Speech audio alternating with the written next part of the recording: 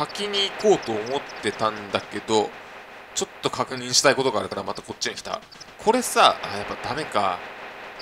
いやボートみたいなやつに前回乗ったじゃん、まあ、ボートってか船。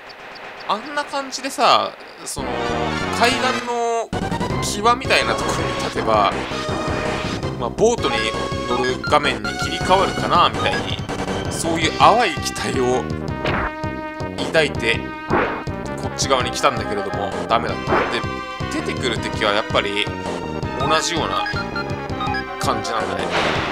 こういったトロルも多く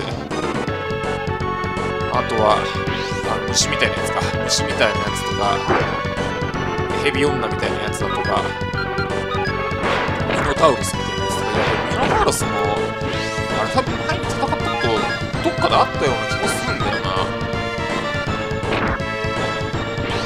まあ似たような絵柄の敵は何人かいるから見間違いなのかもしれないけれども。でサンドイッチとかも結局手に入れられてないしこっち側も行けるわけではないし。あとここいやダメか。うーん持ってたら分け与えたいんだけどな。というわけで諦めて滝に行くことにしたわけだけど BGM あれかちょっと違うよな。さっきの石のガンの森だっけ？いや同じか。おお。小林幸子みたいな。小林幸子の足が出てきた。強いのかなこいつ。あーまあゾンビよりは HP 多い感じね。フルアトミックでワンチャン全員倒せれば万々歳なんだけど。ていうかゾンビがあれなんだよな HP めちゃくちゃ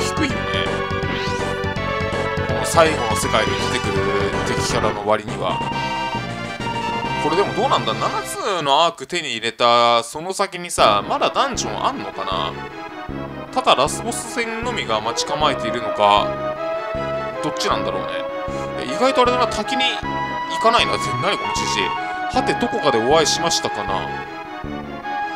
え？いやわかんない。えいどこそのハゲだこいつえこのこのハゲどっかであった？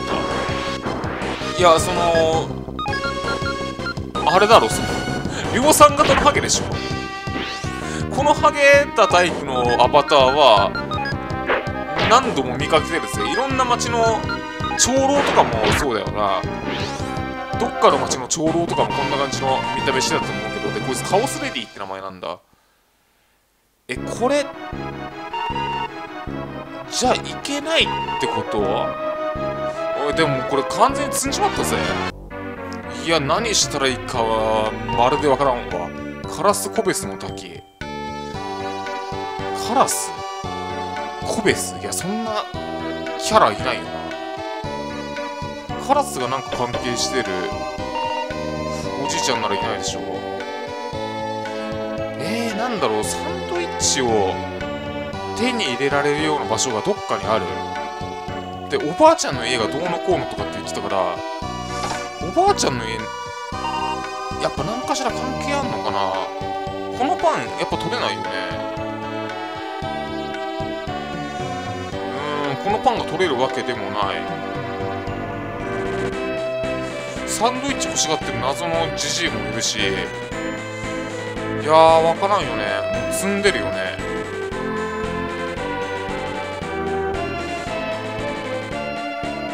これといって何かがあるっていうわけでもないしな。あでこのいや関係ないか。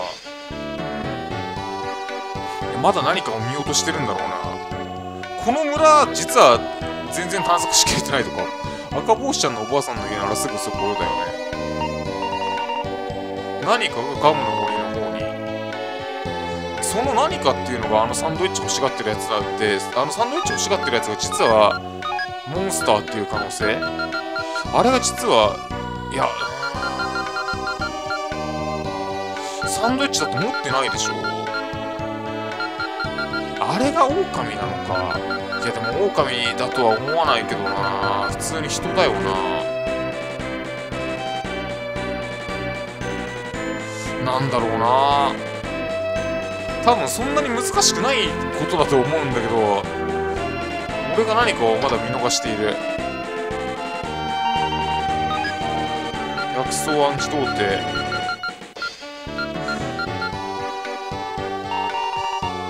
スペシャル薬草を持った状態で話しかけたらまあこれとりあえずサンドイッチの代わりになるから食べるぜみたいなそれで元気100倍アンパンマンみたいなさそういう展開になってくれたらいいんだけど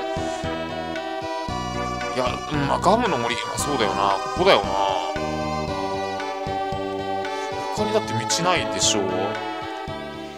いやマイルなこれは。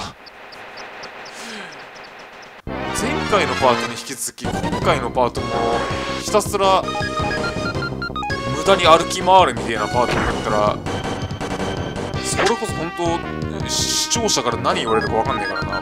まあその辺は特にいいんだけどさ。いいっちゃいいんだけどさ。ワンタンキルできなかった。あ意外とおじさんダメージ食らってんのか今。さっきあれだドレスレディみたいな敵が魔法を使ってきてそれでがっつりおじさんの HP 削られたんだったなそういえば。サンドイッチを持ってたら。こいつ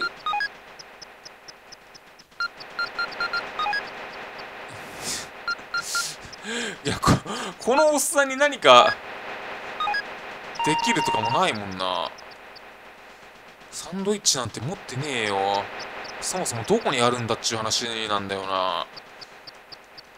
こっちもこっちで行き止まりだしよ。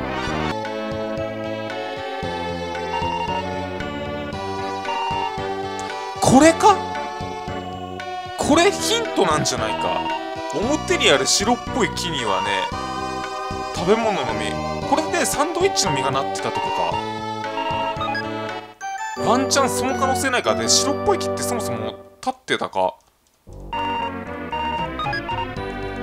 まあ村人からのヒントだ。村人からのヒントが何よりも大事だ。白っぽい木。あこれか。これだな。お菓子の木。あーお菓子の木か。ああ木のあがお菓子の木に宿った。お菓子じゃなくてサンドイッチが出来上がってくれれば万々歳なんだけど。きたお菓子の木はサンドイッチの実をつけた。いやいやいやいやいやいやいやもう薬草いらない。薬草のスープいらないから。あーようやくだ。ようやく進展だよ。長かった。前回のパート完全に無駄だよな。でサンドイッチ見つけて。いやーこれな洞察力マジで試されるなこのゲーム。いや今のところ攻略ウィキ関係は一切見てないけど、まあ、どうにか進展してるわ。あげるよ。ありがたい。狼に突き飛ばされ歩くこともできずに難儀していたところです。なんてねこい実が僕が狼なんだみたいなそんなことにはなんないかうん力が湧いてきた。これで動けます。狼？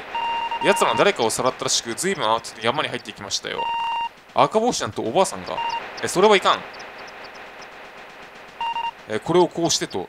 おお、なに、鶴。えー、さあ、後を追うならこちらからどうぞ。わしですか？わしはゼペック。あー、ティンクルのゼペック。え？いや、ゼペックって、いや、違うか。ゼボットか。ピノキオの童話に出てくるジジイの名前ってゼボットだったような。ゼペック、いや、それなのかな？ゼボットをもじってゼペックって言ってるのか、それとも全く全然違う童話のキャラクターの名前からもじったのかはわからない。え、オンに来ますよ。ああ、足引きずってんな。ああ、でも進展した。これ今、普通にその木の上歩くんだ。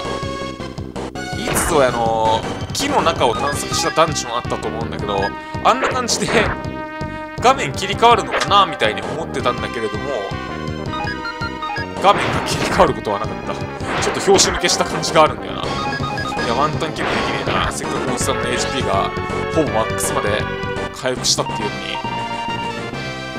いやほんと前回のパートいやなんなら全全部前回のパートなかったことにしたいわ。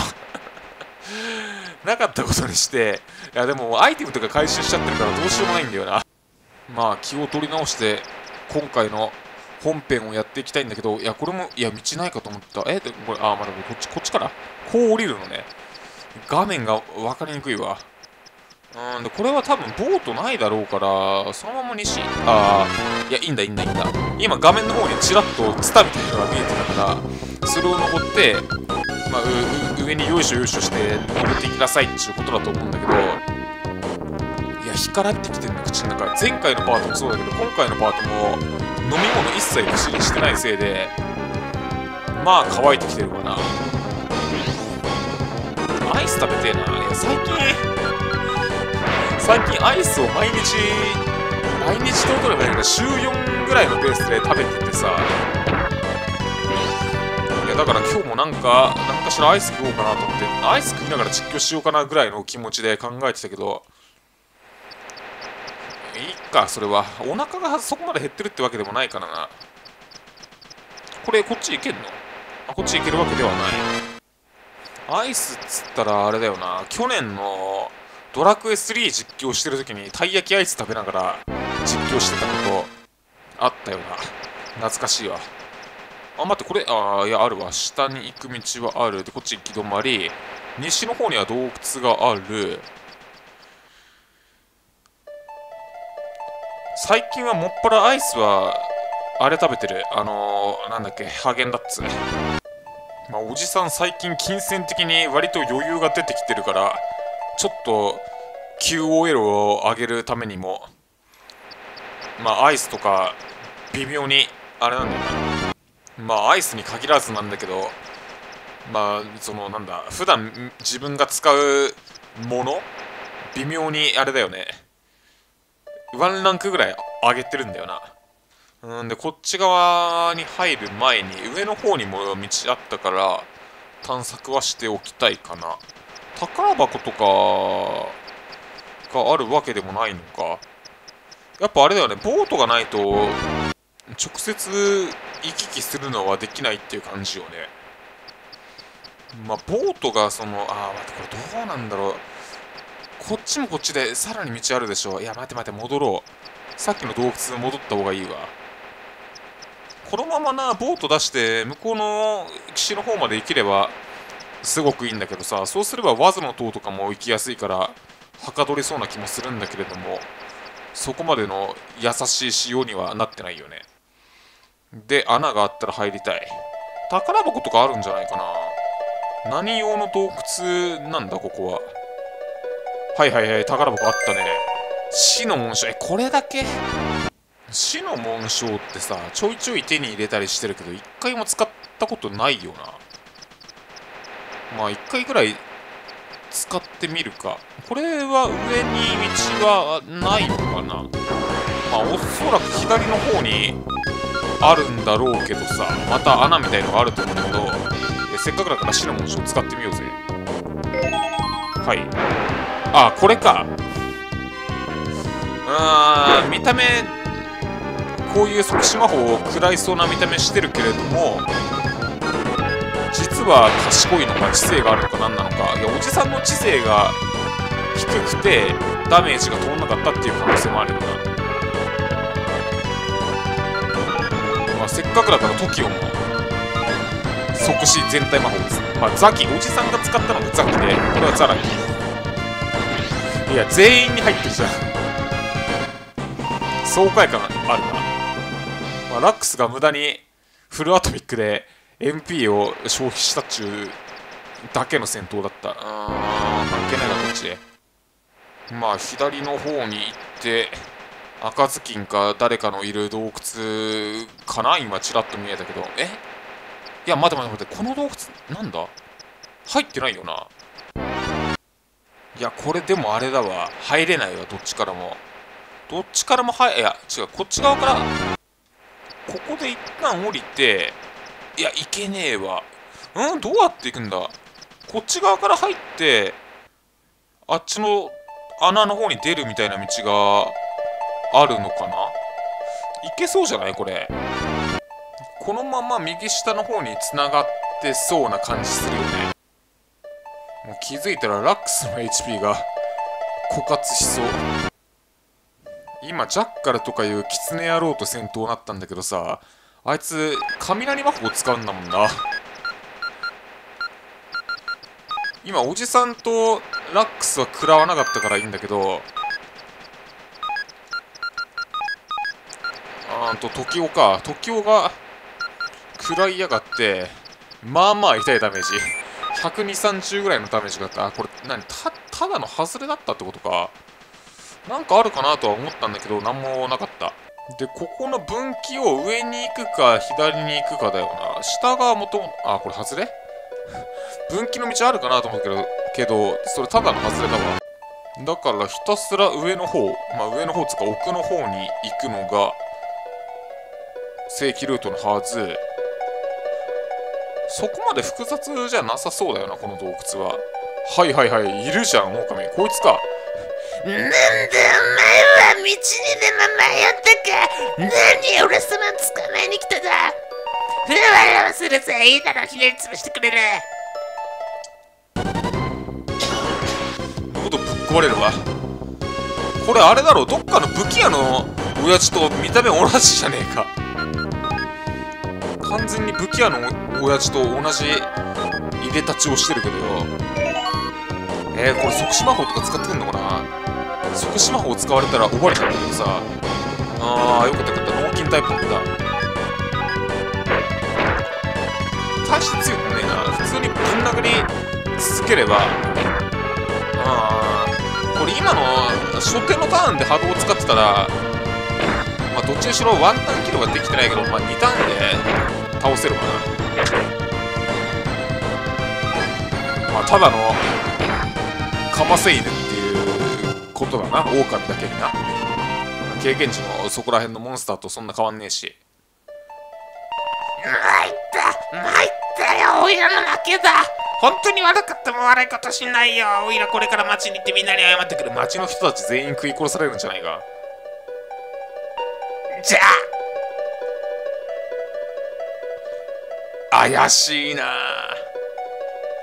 怪しいな。赤赤ずきんじゃんこれ。ありがとう。お兄ちゃんってば強いんだね。あのね私たちねもう少しで誰かに連れてかれるとこだったの。うん狼さんじゃなくてね闇とかっていう人なの。うんラスボスか。でねそれでねもうすぐその人がやってきてね私たちをどっかに連れてくって狼さんが言うの。怖かったわ。とっても。でももう大丈夫だよね。町に戻ったらぜひ私の家に来てほしいな。私たちなら越境2人だけで帰れるわ。ねおばあちゃん。さあ行きましょう。ババアは歩いてないようになってたよな。クロノトリガーの魔王みたいに浮遊するタイプの動きしてるよね。炎の弓を見つけた。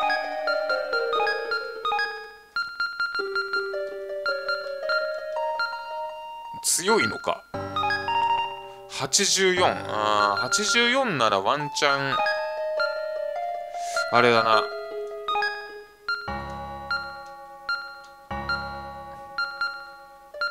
雷鳴のスカラベ交換すんじゃん。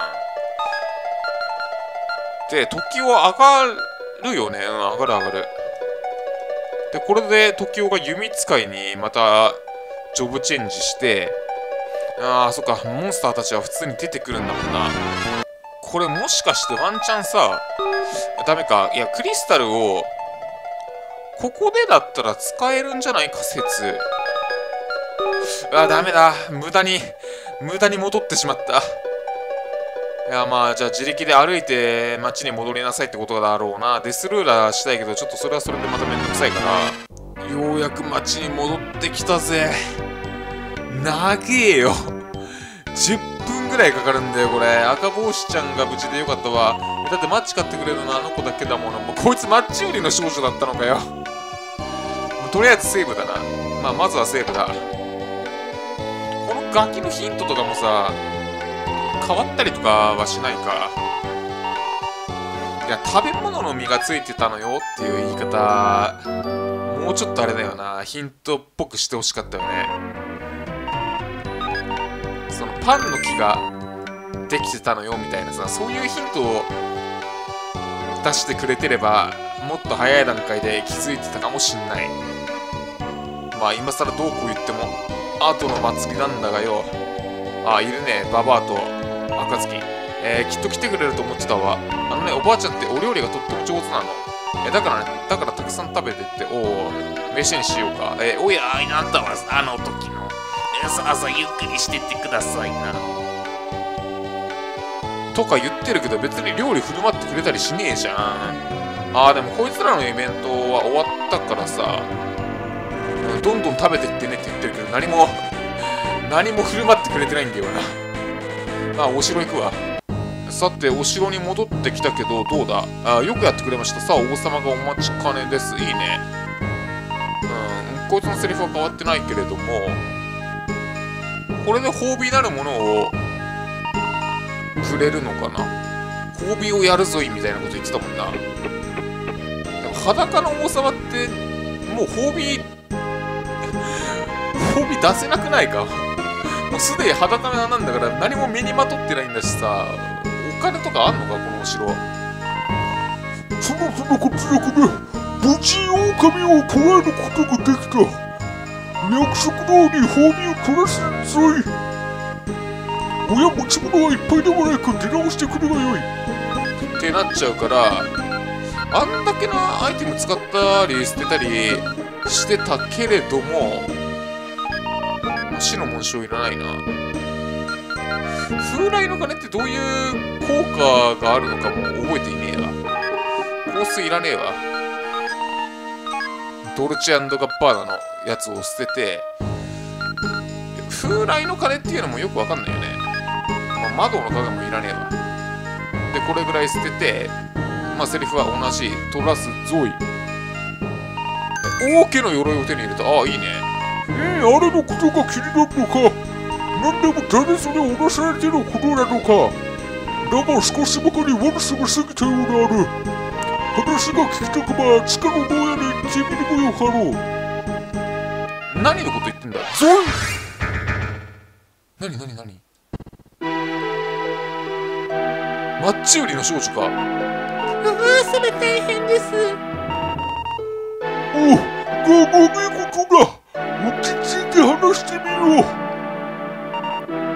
出てました来るの森に大きな魔物がクルの森って行き止まりになってた場所じゃないの何魔物だとあいわかった誰か来るの森じゃ魔物を退治してまいれ褒美は思いのいや褒美は考えておく狼騒ぎが片付いてばかりだというに全くゾイあ王様あなたに期待してるようですねそうだな怖くてちびりそうマッチ売りの少女おもらしかそれはそれで熱い展開だな。で王家の鎧だっけ手に入れたの。どどこにあるかわかんない。ああこれかえー、52の鎧。おじさんの装備品だと思うんだけど上がるよね。ああまた見失った。あった。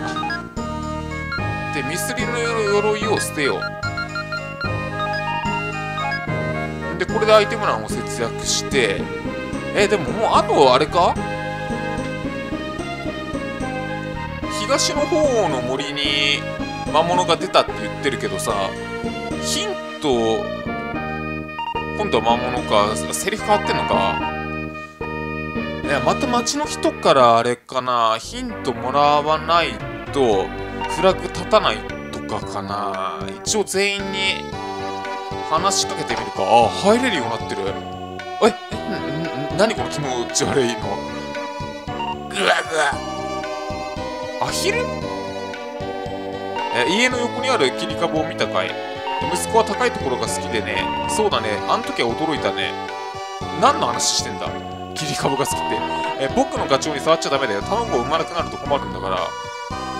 いやこれもあれなのかな。ガチョウを育ててる少年の昔話みたいなのってあったか？切り株とあの時は驚いたね。これも何かしらのおとぎ話と関係してんのかな？大きな切り株がある。でもこれなんかあるってことは木か。えなにジャックと豆の木的なやつか。でもジャックと豆の木ってガチョウ出てきたかな？え一本のつるが伸びていく。えー、眺める。えー、くねくねしたつるが天まで伸びてる。ジャックと豆の木じゃん。登る。天まで伸びてるつるを登っていった。え？待って待ってこれ神殿のあった場所じゃない？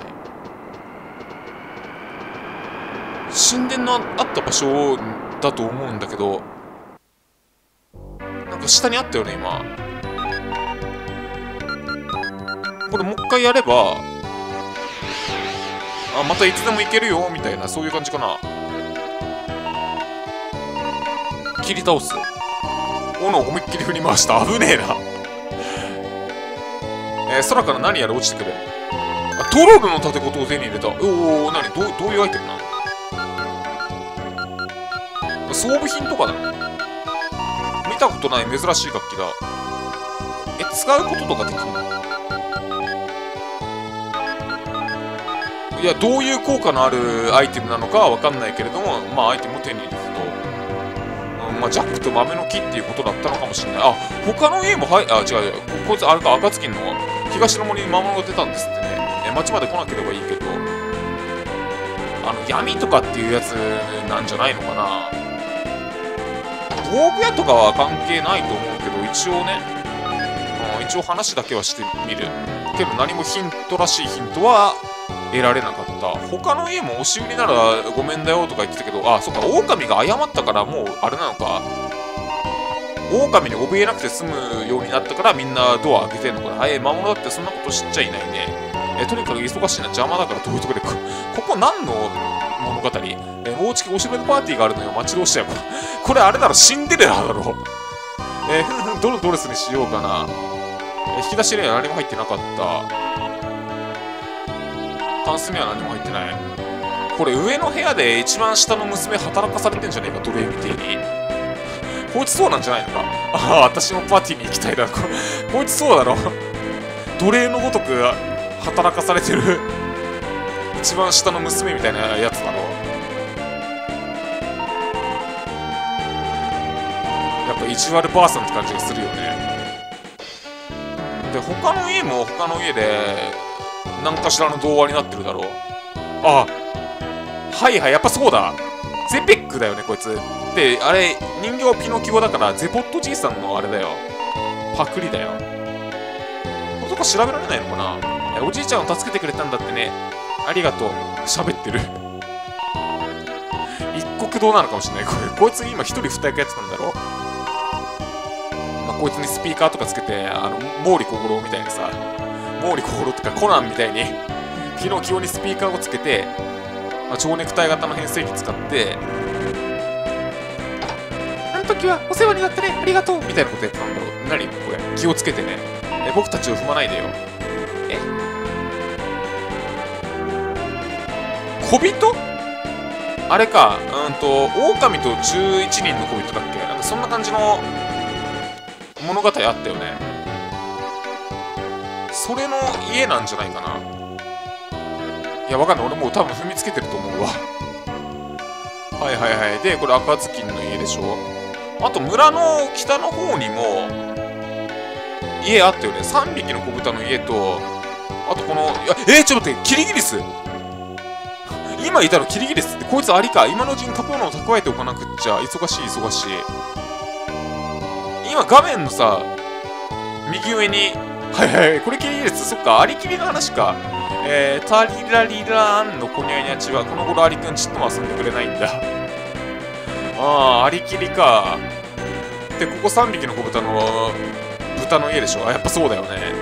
えー、スー、今度は絶対来れない鉄の家にしちゃおうか。